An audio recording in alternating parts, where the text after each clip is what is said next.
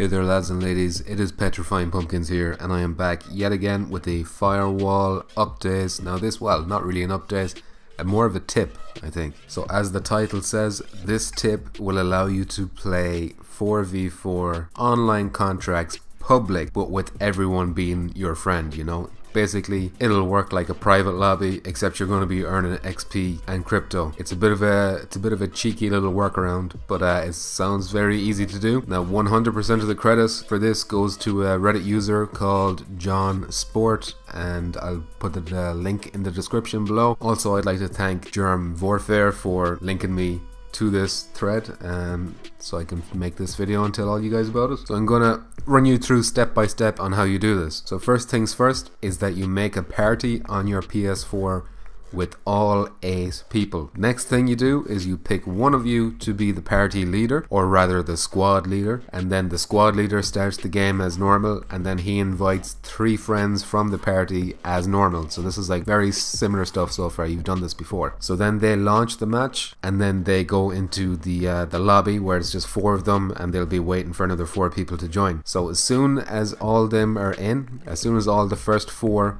are in the lobby, in the matchmaking screen, the leader will say ready in the chat, okay? In the party chat. And that's when the remaining four people in the party chat click on the squad leader's name and then they'll see an option to join session. That's going to be in the party menu, not in the game menu on your PS4 menu, you know, in the party set or in the party chat screen. If you do it fast enough, all four people left there should automatically join that on the enemy team, if you know what I mean. So that'll be four versus four, all of you in the same party, and then at that point you can choose to all leave the party and go back to using the in-game chat, or you can stay in the party chat if you want and keep communication with the enemy team if you, for whatever reason, want to do that, but you should probably leave the party after that. So basically you'll get to play with eight people, all of your friends, and still earn XP and crypto so yeah, I'm definitely going to be trying this out tonight. Fingers crossed we can get it to work, and hopefully this was uh, a good tip for you guys. Thanks once again to John Sport over on Reddit for posting this tip on the PSVR subreddit. And I'll end the video there, lads and ladies. If you found that tip helpful, if you like the firewall content on this channel, please consider doing the usual shies. Also, big thank you. We've passed 1,000 today. That's huge. I might do a little special video of that soon enough, so keep an eye out for that. But yeah, massive, massive thanks. I'll see you in the next one, and bye bye.